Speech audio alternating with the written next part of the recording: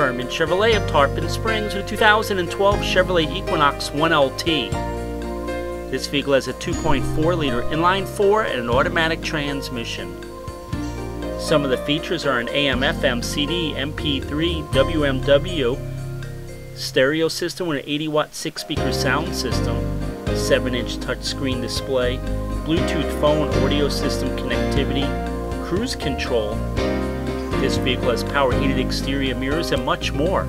Stop by for a test drive today.